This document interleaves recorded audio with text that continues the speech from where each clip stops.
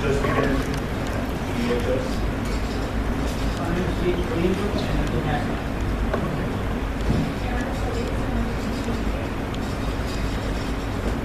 Arnold Vanessa, TCEQ Laredo. Carl Walker, I'm the family partner. Omar Garcia with Steer, for the Oil and Gas Trade Association for South Texas. Pete Bell with Shake Ranch. Sonita Miranda, Mountain View District. Great. Esto Center.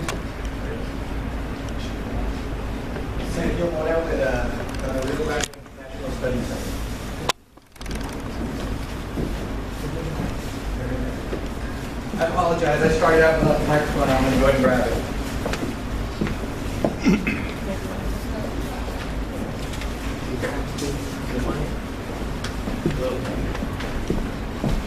Hello? Can you hear me better now? Good deal. Okay. So first of all, where is the Eagle Ford Shale? I'm sure a lot of you from industry are familiar with the entire region, but um, if you live here, you've seen a lot of activity here, but you may not know, be familiar with all of the Eagle Ford Shale region. So you can see it right here. It's, I usually describe it as almost an upside down rainbow underneath San Antonio, but it goes up past College Station and comes down all the way down into Mexico. Um, so for people who are residents of the community here, how close do you all live to uh, oil and gas activity? Is there, do you live within five miles, within a mile, More like 20. more like 20? Okay, good deal. Um, so why are we here? Well, uh, we want to help you, uh, members of the community, be able to identify potential risks uh, that can occur from time to time when things go wrong, uh, and learn how to observe them and report them to, when you find those, those any kind of incidents, um, to be able to report them to the proper agencies. And what we'd like to do is be able to help, by doing that, help state agencies respond more effectively. So right here, what you see is a, um, this is a, a mud and oil sludge spill from an open top truck. Saw a lot of these in the early days of, of the boom here in the Shale. And this is something that, you know, first of all, um, people, people started reporting these issues and um, the agencies responded and they started, they, they actually educated the communities to let them know to report people with open top dump trucks, which was illegal to transport this stuff. And so, in doing so, um, the violations were, um, were, I, people were, people were fined for doing that and you saw less of that in the future. Um, but an issue like this, this is something that's easy to identify. When you have a chemical spill, when you have a liquid spill, a sludge spill, that's something that's easy to identify. But what about when you have a gas leak? If you have a gas leak, that's, you know, could be an invisible gas. That's, that might be much harder to, to identify. Does anybody see a gas leak in this image? So there, there's the same image with an infra, infrared camera. And you can see gas coming out of there. Now, that may be on purpose. Um, you know, there's some of those uh, tanks are actually designed to to let out some gases so that there's so when they build up pressure so that there's not an explosion. At the same time, there could be a hatch that gets stuck open and it could continue to just allow allow those gases to to leak all day long.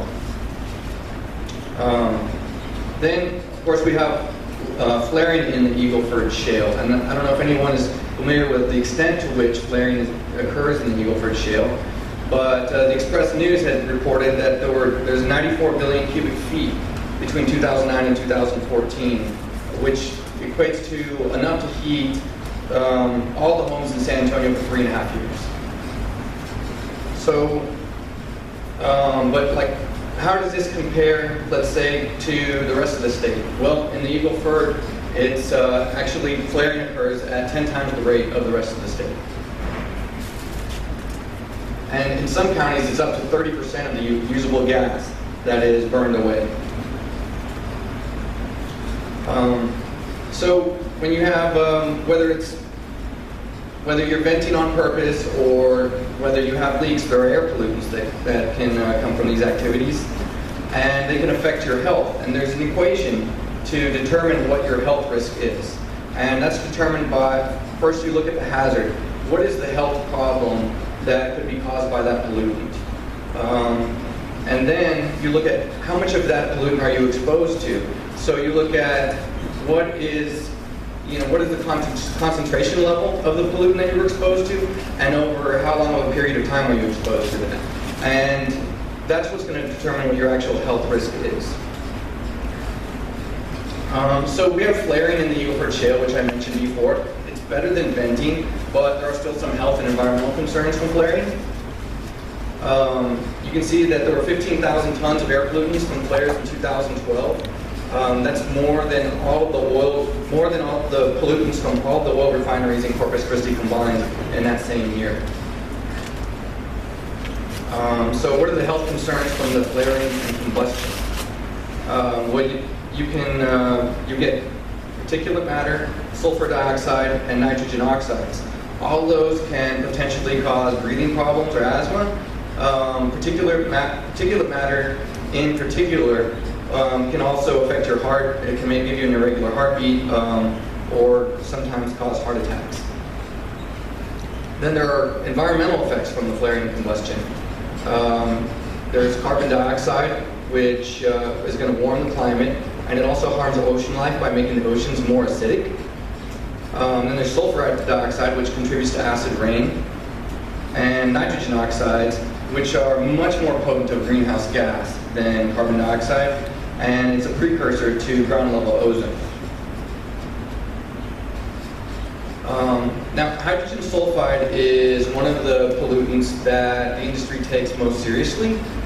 Um, you can recognize it often when you see one of those yellow and black uh, poison gas pipeline signs. It's extremely toxic. It's a colorless gas, so you're not going to see it. Um, it's it also, if you go back to that slide where I showed you the infrared camera, you're not going to pick it up on those either. Um, but it's it's heavier than air, and so you're often going to find it on a day that's not very windy in low-lying areas, if it if it did leak, obviously. Um, and it smells like rotten eggs. However, you may smell rotten eggs and then not smell them later, and that doesn't mean necessarily that it's gone away because it deadens your sense of smell. And so you can inhale some, smell that rotten egg smell, and then lose the ability to smell, and you won't smell that, that uh, you may not notice it, its presence anymore. Um, so how do you identify hydrogen sulfide? Well, um, you can look at the flags that are on an oil and gas site. And so if you see a white flag on a site, that means that presence of hydrogen sulfide has not been found there. Um, and hydrogen sulfide is it's it's a natural um, occurring gas that occurs when you know when when oil is forming over millions of years without the presence of oxygen. That's when it's going to start to form, and that's why you find it in some areas. You're going to find it where there's oil. In some areas, you'll find the oil without it. Um, if there's a green flag, then there's a, a low potential or potential low hydrogen sulfide hazard. So it's it's going to be if it does leak out, it's going to be in lower concentrations. It could cause irritation of your eyes, nose, throat, and respiratory system. If it's a yellow flag site, then there's a medium hazard. Um, exposure can cause headaches, dizziness, nausea, nausea, coughing, vomiting, difficulty breathing, things that are a little bit more serious. And then a red flag is a high standard, which can cause shock, convulsions, uh, extremely rapid unconsciousness, coma, or death. I actually have a friend who works in the oil and gas industry who went became unconscious from uh, being in the presence of hydrogen sulfide. so Somebody had to go in and grab him and carry him out of the area. Um, so you, we have uh, intentional venting, and then sometimes there's uh, unintentional leaking of gases. Uh, when that happens, you can have some, some of the uh, pollutants that you could be exposed to are poly, or PAHs, uh, methane, and VOCs. Uh, PAHs can potentially cause cancer, breathing problems, developmental problems. Methane is an explosive hazard. Um, and then the VOCs also can cause cancer over time, irritation of the skin, dizziness, headaches, um, other, other medical issues, including vomiting and other health problems. But also remember the, the health risk equation that I talked about earlier. So these are all different symptoms that you can experience um, or effects of some of these pollutants, but just keep in mind that the health risk is determined by what is the actual hazard that is posed by that pollutant, and then what are you, how much of it are you exposed to? What is the concentration level you're exposed to, and for how long are you exposed to it? And that's going to de- determine really what kind of symptoms you may experience uh, from that pollutant. So a lot of people hear about ozone, and ozone, um, you, you might hear good things about it, you might hear bad things about it. Ozone is good up in the atmosphere. It helps protect us, um, but we don't want it down at ground level. And if you at, at higher concentrations at ground level, um, then it can cause some, some health problems. And it's formed when nitrogen oxides come in contact with VOCs. Um, so th- these are both the byproducts of com- the combustion process, and you know it could be um, unintentional leaking or intentional venting. But when they when those two chemicals uh, come into contact in the presence of sunlight, then they can form ozone. And um, so ozone is something that we monitor. So we, we monitor ozone, and we also monitor the um, the precursors, the nitrogen oxides and um, and the VOCs. So in the Barnett Shale region, uh, which is up in North Texas near Dallas Fort Worth, they have 31 stations that uh, that monitor the nitrogen oxides and VOCs. Does anybody have any idea how many um, how many air monitors we have in the Eagle Ford Shale? Other than Peter? No guesses out there? There's 31 in the Barnett Shale. So in the Eagle Ford Shale, we have five. So I don't know if that surprises any of you, um, because the Eagle Ford Shale is a pretty, pretty significant oil and gas play. So if you live here in the community, what can you do? Well, uh, we want to encourage you to be able to gather information when you see when an issue arises, report your concerns, and um, hopefully we will have less incidents in the future because our vision is when people who live around oil and gas development are are informed about what to look for for any kinds of issues that could come up. If they're reporting them, then the state agencies are going to have more information. They'll be able to prioritize which sites they visit, and ideally in the future we'll have less less incidents of contamination. Um, how about uh, number of wells per state inspector? Anybody have a guess how many wells there are uh, per inspector that the TCEQ has or the Railroad Commission? I heard too many. Okay. Well, for TCEQ, there are over 850 active wells. That's that's active wells um, per inspector. And for the Railroad Commission, there are over a thousand active wells uh, per inspector. So Obviously, the inspectors can't be everywhere at once. You saw the picture of the Eagle Ford Shale region. You saw how big it is. That's a lot of land to cover. Um, and that's why neighbors can play an important role by becoming informed, knowing what to look for, and reporting issues as they arise. Um, then there's also a new state law that we want everyone to be aware of. It's Texas House Bill 40. Uh, House Bill 40 has reduced municipal authority to regulate oil and gas. Um, and so it means that state agency and citizen engagement with the agencies is more important than ever. Uh, specifically, what House Bill 40 did is it took away the rights for municipalities to regulate oil and gas activity below the surface. And it said if you want to regulate it above the surface, you have to prove that your um, any of your regulations are still commercially reasonable. And the term commercially reasonable is something that we we probably are going to see played out in courts to find out what exactly that means. Um, so something else you can do is um, baseline water quality getting a baseline water quality assessment, and then do follow-up monitoring after. So you want to test your water before there's going to be oil and gas activity. If you know there's going to be new activity near where you live or near where um, you work, um, if you have uh, your own water supply, you can test it before and then do follow-up testing after there's some activity there. Um, it's, it can be expensive. There, it's also um, not a simple process, and so what we've done is we've included a handout in your folder, and so you can go and you can look at that, and that can help guide you through. It's a little bit more complicated than something I can present in this presentation right now, but um, and it's also something that we have on our neighbors oil and gas website. So if you want to go there as well, in case you're watching this on a video and you don't have one of these folders. And that's where you can find the information the neighborsofoilandgas.org. So how does the reporting process work? Um, what are the agencies that you report different issues to? Well, for water, if your well goes dry, um, that's a water quantity issue, and so you're going to want to report that to your local groundwater conservation district. Um, if there's contamination to your private well, that's something that you would report to the Railroad Commission. But and if it's a public water supply that's contaminated, you report it to the Texas Commission on Environmental Quality. So you can see there's there's um, there's a lot of details and it's not always simple to figure out, and that's why we're here. We want to help you with that process. Um, so what else can the Railroad Commission respond to?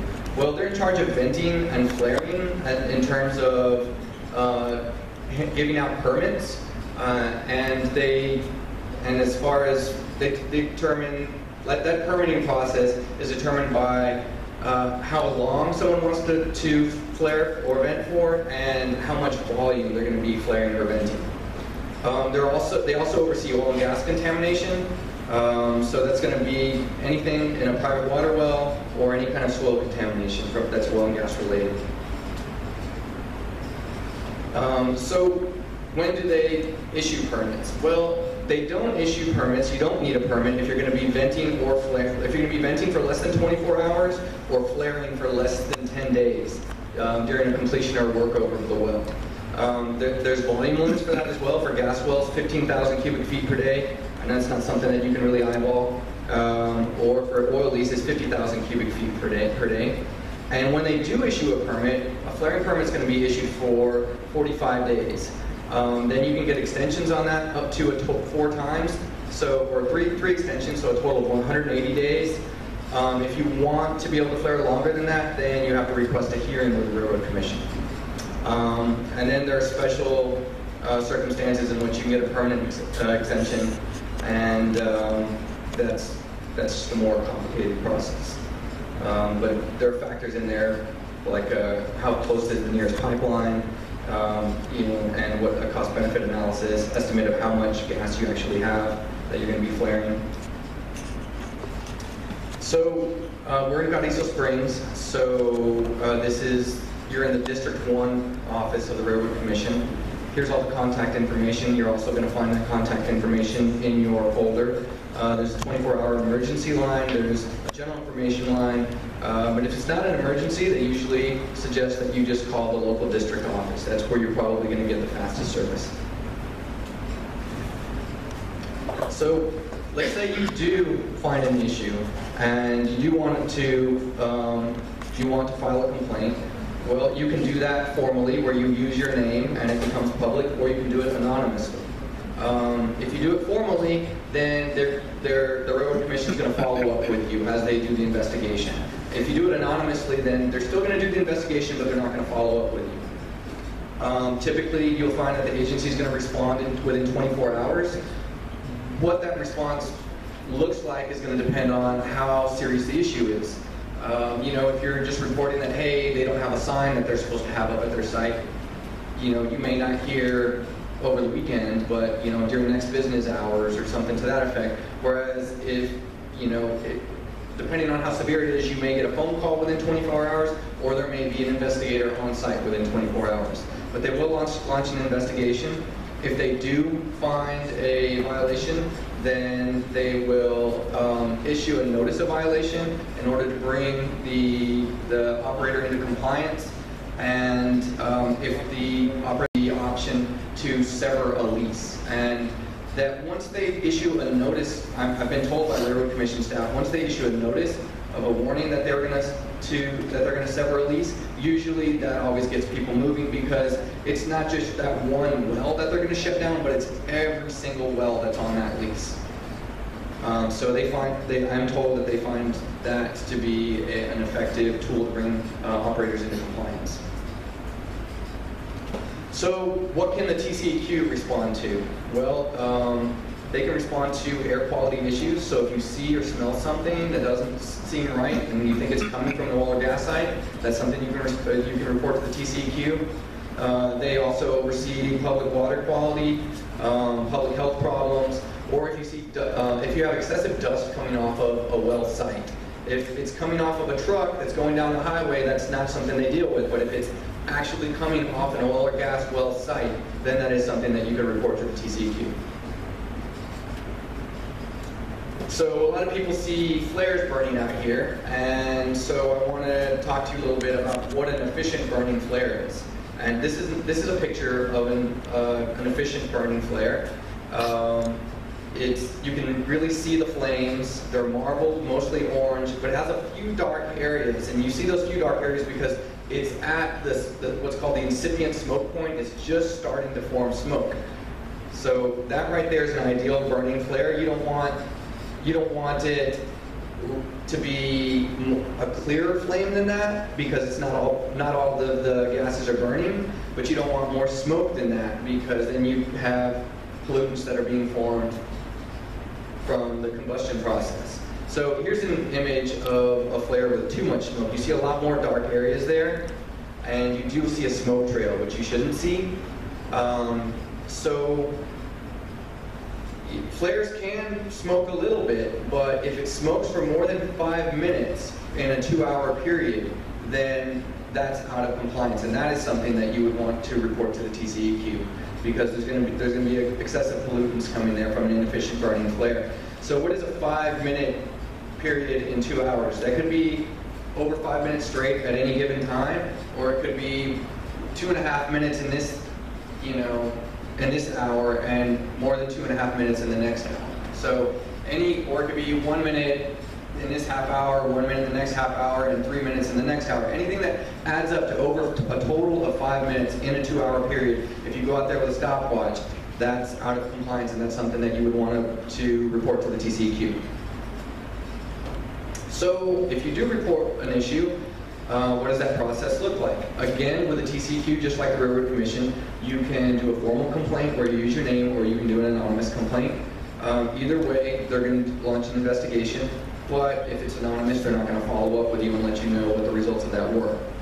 Um, they also are going to respond within 24 hours. Um, that again is going, what that response looks like is going to depend on how severe the issue is, um, or the, how severe the perceived issue is. So it could be an email, it could be a phone call, it could be an investigator on site uh, within that amount of time. Um, they will launch an investigation, and um, if they do find a, a, a violation, they will try to bring the the operator into compliance.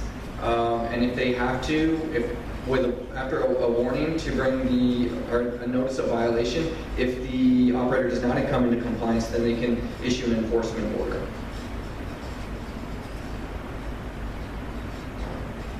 So uh, when, a, when a TCEQ investigator goes to the site, um, they're going to collect evidence of whatever the issue is that was reported.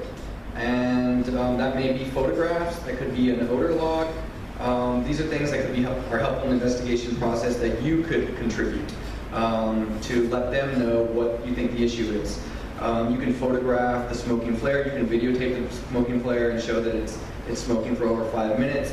Um, there's also an odor log, which I'm going to show you in just a moment, that you can fill out and you can tell them what is it, what is it that you're smelling, um, what direction is the wind blowing, where are you oriented in comparison to the site. But if you provide that information, that's something that the TCEQ could use to help them determine what the issue may be, but they're not going to use it as part of the enforcement process. So they're not going to use it as evidence to um, against the, the operator. Now this here is the odor log I was talking about. You can see it has, it asks you things about weather conditions, time, date, um, who is the person that's taking information down. There's one of those in your folder that's fairly self-explanatory, uh, but the more information you can provide them with, the better off the investigator is. For instance, the time of day that you are um, smelling this odor could be really key. There are some things that you may only smell early in the morning, and you know when, when there's less wind. And so, if that's the case, and if if you don't provide that information to the investigator, they may show up in the afternoon and say, "Oh, well, I don't smell anything." So, they, this is something that could help them to troubleshoot the issue. Um, so one of the thing that one thing that we want to encourage you to do is to know your surroundings. So an issue may arise in the future, um, and it's better off if you already know your surroundings if you're already prepared. So if you start smelling something coming from an oil and gas site that could be a potential hazard, that's not a time that you necessarily want to approach the source right? Because then you're getting closer, you're going to you're, you're going to be exposed to higher concentrations of whatever it is. So it's good if you live next to a site or if you work next to a site to go there now and collect information about that site and just keep a copy of that information in your car, keep a copy of that information in your house. You know, you're going to want to know what the street address is. Um, often the latitude and longitude is going to be posted there at the site.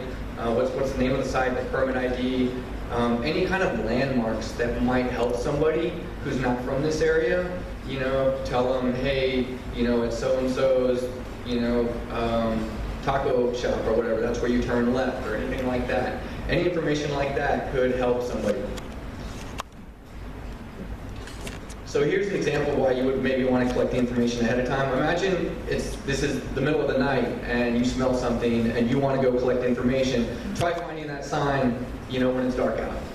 Um, so it's just another example why you might want to go and collect information ahead of time. So um, when you want to report an issue to the TCEQ, uh, we here in Carrizo Springs are in Region 16. That means your local office is Laredo office. Uh, so there's your um, there the there is the uh, contact information, and you're also going to find the contact information in your folder. So then, what about local law enforcement? Like I mentioned before, TCEQ handles dust if it's coming from the oil and gas site only, right? So if it's a truck, it could be an oil and gas vehicle that's going down the highway, and if there's excessive dust coming off of that, well, that's something you report to local law enforcement. Any excessive noise, excessive traffic issues, light pollution, those are things that you would report to local law enforcement. In addition, uh, if you're reporting something to a state agency, you might also consider reporting it to the local law enforcement. Um, if an issue arises, often, um, you know, you saw that slide where it's over 850 active wells per Railroad Commission um, in- investigator, and uh, there's over a thousand active wells per TCEQ investigator. So often, if you call local law enforcement as well, they can often arrive at the, at the site sooner. Um, they can provide you with documentation by government entity, so they can document it, and it, it that could that documentation could pro- could provide the state agencies with a second opinion of whatever the alleged contamination is. So then they can say, yes, you know, I'm a law enforcement officer. I was on this site when the local resident was. I smelled what you know the same thing that they were smelling. I believe it was coming from this direction. Any of that was that just might help um, with the state agencies. So uh, I'm ready to open up to questions. Anybody might have.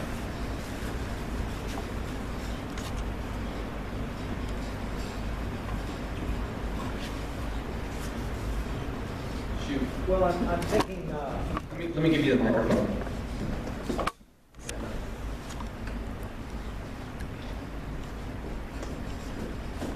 so again, my name is Peter Bella. I uh, saw on your slide when you're going through the different colored flags. Well, what- It's it's only one at a time, is that? Maybe, I turned mine off. Okay, there we go, I'm back, I'm back. I'll turn mine off when you answer. Um, There were the different colors, the white, yellow, uh, red, different colored flags.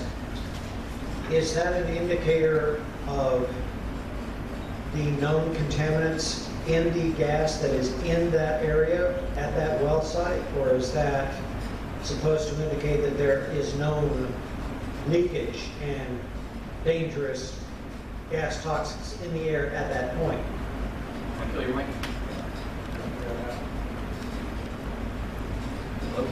Hello? Okay. Um, my understanding is that it, that is the, that, that, that indicates the presence, the, the level, the concentration levels, presence of hydrogen sulfide at that site, not, but it's not necessarily leaking. It's just the pre- presence in that area. Risk. The potential risk is there for that, like red is the highest, and that's the concentration at that facility, but it's not necessarily leaked. But that is the potential of that level of H2S at that particular well site. And, and just to clarify also, in case anybody lives near the site with the green flag that I used an image of, that wasn't actually a green site flag, A site with a green flag. I photoshopped that one because I didn't have an image with a green flag. So don't, don't think, oh, there's a presence of hydrogen sulfide there if you live next to it. I need, I still need an image with a green flag. Maybe Omar can help me with that. Okay. sure. And just to clarify, Peter, the, um, that hydrogen sulfide, the flags are based on a concentration of hydrogen sulfide that's measured on, like, from the wellhead right there at the site. So it's based on a measurement that's taken right there, just so you know. And are, tho- are, are those indications uniquely for hydrogen sulfide, or are those same indicate, okay. So is hydrogen sulfide the only common air contaminant that is, that toxic that is associated with natural gas production? Well, that that is currently regulated from the standpoint of, hey, this could cause an immediate fatality. Um, but- Well, okay, so it's regulated from the standpoint of acknowledging that, yeah, hydrogen sulfide, if it's present in high enough concentrations, can cause an immediate fatality. But there has been at least one case of VOC inhalation by a worker causing a, a pretty immediate fatality. And so, although that's pretty uncommon. Based on my meetings with TCEQ and Railroad Commission staff, the hydrogen sulfide um, appeared to be the contaminant that they consider to be the biggest threat, or to pose the largest, the most serious hazard. I'm getting a nod over there from a former Railroad Commission staffer. Any other questions? Sorry.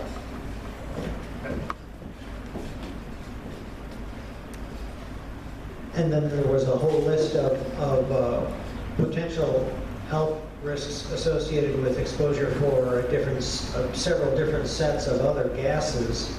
Can you speak a little bit to, clearly, if hydrogen sulfide is a very high toxicity, which only requires a short exposure for toxic effects to perhaps appear, when you speak in terms of some of those other contaminants, I'm thinking of the people here, if they're living near them, if there are lower levels, while there may not be a flag to indicate the presence of these other contaminants, what kind of exposure rates or periods of time are required?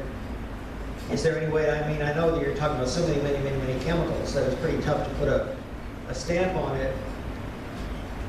You see I'm trying to go? I'm trying to say what kind of health risks are associated with those for people living nearby?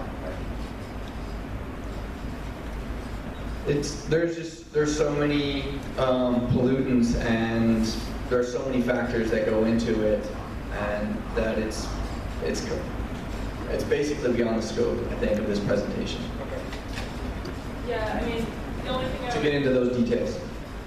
The only thing I would add to that is that, you know, there are concentration levels out there where we would know that there's an immediate concern, but what we don't know are the longitudinal health effects of people living nearby these facilities and the long-term exposure to small concentrations of, from well sites. And you know, all that depends on how far you live from a well site, um, how often you're around them in your daily work life. Um, there's just so many factors that can contribute, and then isolating that oil and gas exposure from other chemicals that you're exposed to in your life and the health impacts that those could cause can be difficult, and so that might be a reason why there aren't a whole lot of health studies on that.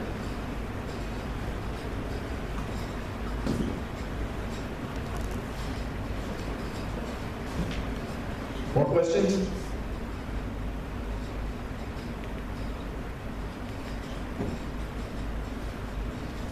Don't be shy.